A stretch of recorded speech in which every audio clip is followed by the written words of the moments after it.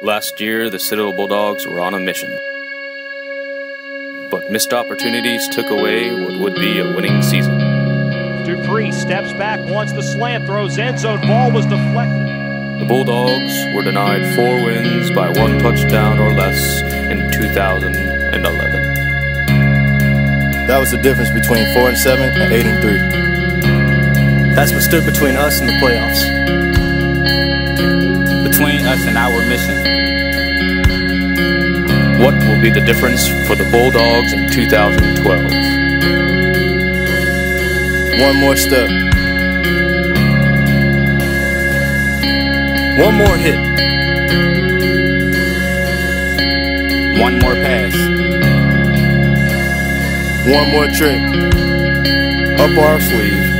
And the Bulldogs run the fake. Here's Kevin Hardy running the One more round.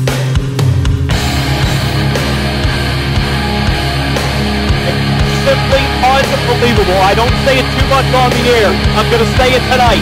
The Bulldogs are down 24 0 at halftime, 27 0 in the third quarter. They come all the way back for a 28 27 resounding victory at Finley Stadium.